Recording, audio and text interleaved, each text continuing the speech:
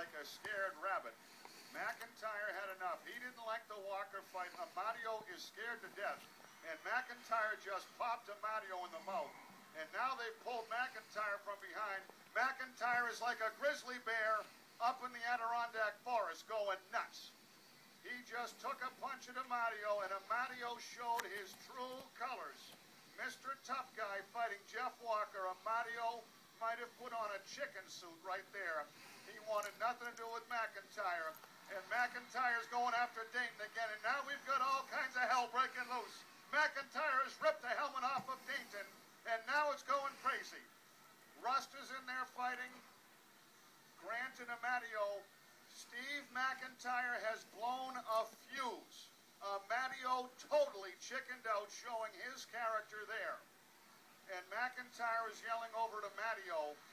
And Amadio should be ashamed of himself. He's all set to fight Jeff Walker. He's got MacIntyre. And Amadio just put on the prom dress and skated away. 2.18 to go in the second period. Springfield is ahead 3 to 2. This and Amadio's got his hands up like the guy in the Mad magazine cover. What me worry. Dainton is checking his eye. Steve MacIntyre he just went after anything. He wanted Amadio. Matteo wouldn't do it. And he went over and made a move. So there's some bad blood between these two teams brewing. Dainton had his mask pulled off by MacIntyre. I am guessing this is something the league is going to take a look at for sure. Wow. You don't see that every day.